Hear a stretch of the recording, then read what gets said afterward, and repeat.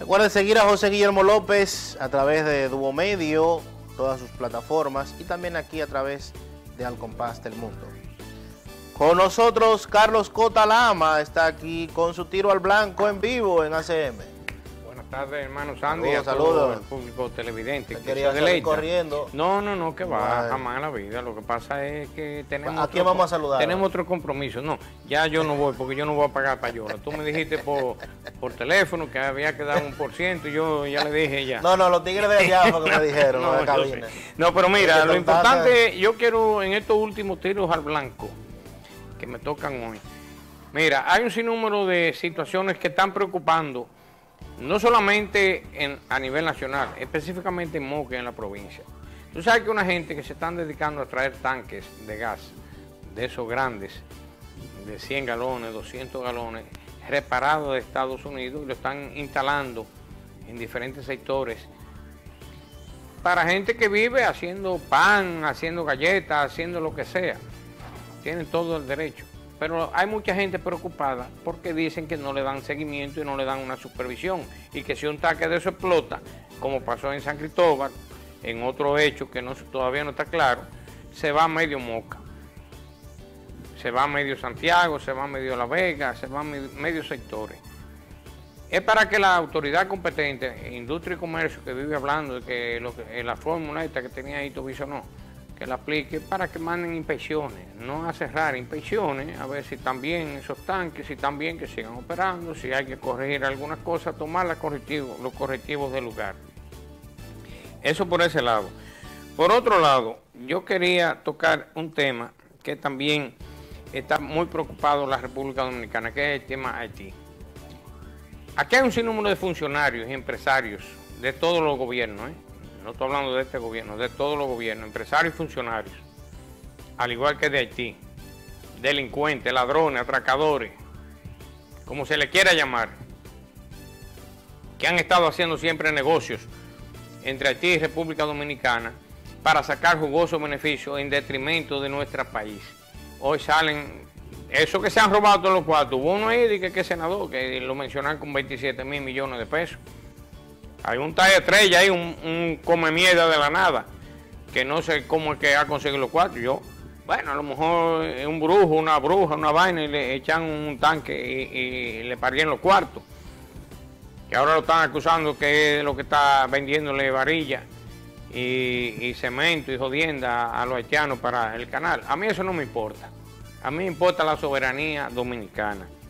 Y que no sigan cogiendo este pueblo de instrumento a las clases más pobres. Porque esos salteadores farfulleros, ricos, multimillonarios, a costa de este pueblo, no pueden seguir. Ojalá que venga un Bukele, coño.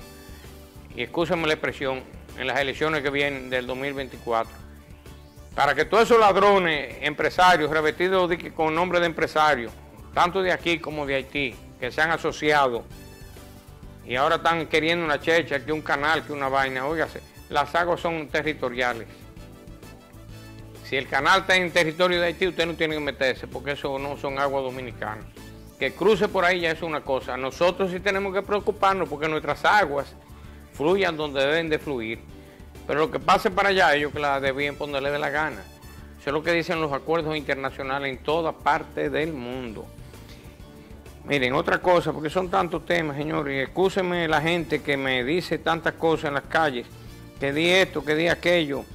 Pero miren, lo que pasó, óigase, eh, con lo que ocurrió recientemente en San Francisco, allá en Paso de Moca, esa zona de allá abajo, de un allanamiento, de que por unas armas, una cosa. Decir que hubo un intercambio de disparos, eso es una falacia que no puede repetirse. Eso una falacia, es una vergüenza. Decirle a esta sociedad en pleno siglo XXI que la dirección de la policía que- y el, el- encargado de comunicación, Diego Pesqueira, el coronel, que fue un intercambio de disparos. Coño, qué bueno intercambio de disparos con un hombre que lo matan con, como con siete, ocho balazos y la esposa con seis balazos. ¿Y dónde están los balazos de los otros? Ah, que, que un policía herido, sí, pero de, todos los tiros que ustedes tiran, se, se reculó un tiro y se le pegó un raguño a un policía. Dejémonos de esa vaina, de esa falsa, armar esos trompos. La Procuradora General de la República, Miriam Germán, ella sabe que está obligada a esos fiscales que actuaron ahí de manera perversa y corrupta y los policías que participaron en esa vaina deben ser investigados y sometidos a la justicia y condenados por los hechos de esa muerte. Eso no fue intercambio de disparos. Eso fue una sinvergüencería de esa gente. ¿eh? Y que quede claro eso, que no, no estoy defendiendo quizás que estuvieran vinculados en hechos que hay que investigar. Pero hay mecanismos de cómo arrestar a una persona sin tener que, que matarlo, fusilarlo y el esposo y la vaina y decir que aquí intercambio tiro. Usted está loco, eh, coño. ¿Quién diablo se va a creer esa vaina? ¿Quién diablo se va a creer eso? Mire, yo no sé qué vamos a hacer con los ladrones de finca. Por aquí están criticando que, que, que la gente está vendiendo la finca por urbanizar, que la gente está vendiendo la finca para... Coño, pero es que, es que estos ladrones no dan tregua.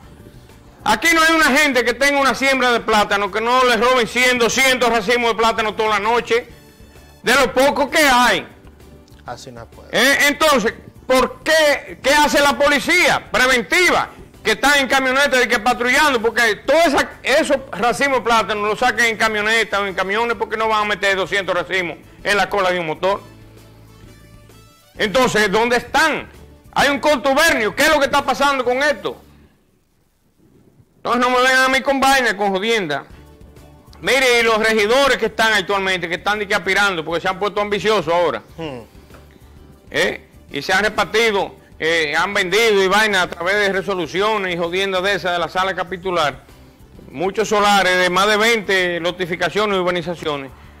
Coño, si, tienen la cachaza y el descaro, que en las áreas institucionales, porque la gente, los urbanizadores no tienen legalmente ningún derecho. Y así como hacen un anuncio de que, que respete la ley y la vaina, si ya ustedes se cogían la tierra, la vendieron, la cedieron, la vaina, manténganla limpia. Y ya por último, por último, yo quiero que sepan, toda decisión, no importa que sea municipal, del Consejo de Regidores, yo tuve que ir a la justicia varias veces, de manera responsable. Todo se puede recurrir. No se dejen meter cuco ni se dejen meter miedo. Si usted con una disposición municipal del Consejo de Regidores, usted no está satisfecho y entiende que le violaron su derecho, acuda aquí a la primera Cámara Civil y Comercial que actúa como tribunal contencioso administrativo y recura y someta a esos regidores que levantaron su mano alegremente en perjuicio de sus derechos y sus intereses.